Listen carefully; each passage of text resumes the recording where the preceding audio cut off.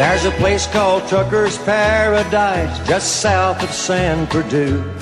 And the drivers all stop in there for a laugh and a cup or two. There's a woman waiting tables, and I'll tell you, boys, she's nice. They call her the fallen angel at the Trucker's Paradise.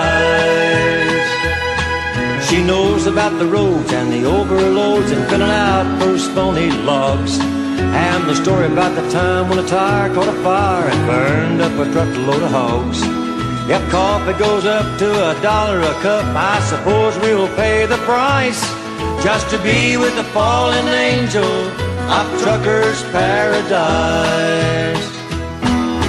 No need to ask her what her name is, she won't say.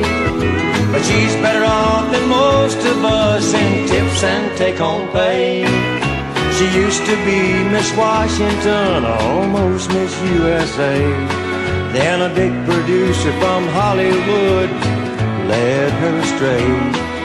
It turned out that he was married, and her heart turned cold as ice. And that's why they call her the fallen angel of truckers' paradise.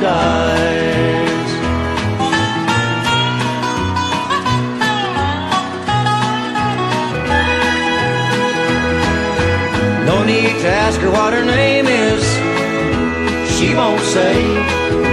She's better off than most of us in tips and take home pay. She used to be Miss Washington, almost Miss USA. Then a big producer from Hollywood led her astray. It turned out he was married, and her heart turned cold as ice.